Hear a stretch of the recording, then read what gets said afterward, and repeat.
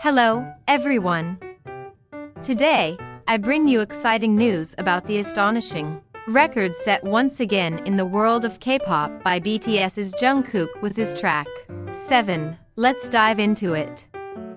First and foremost, BTS's Jungkook's debut solo single 7 is already garnering immense love globally, particularly in Japan. The achievements are nothing short of remarkable. Released on July 14th, 7 secured the top spot on Spotify's weekly Top Songs Japan chart from September 8th to 14th, reigning for a full week, and this feat becomes all the more astounding when you learn it amassed a staggering 2.4 million streams, pushing past the hit Idol by the locally popular project YOASOBI Kama. 7 showcased an unparalleled accomplishment for a K-pop artist. What adds to the intrigue is that 7 had previously scaled up to the second spot.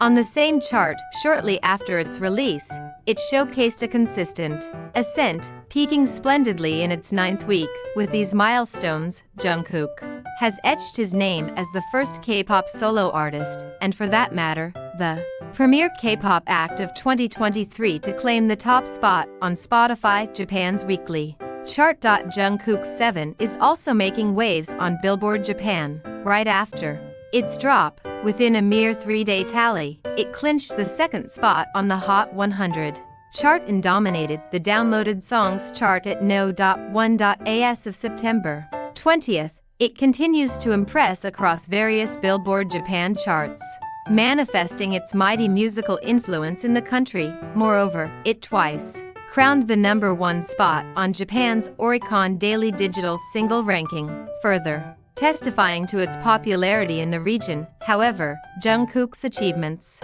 aren't limited to this. On a global scale, he's being hailed as the global music king, setting another benchmark as the first Asian artist to helm the Spotify global chart for a consecutive 8 weeks, and for a whopping 57 days in total. That wraps up our news for today.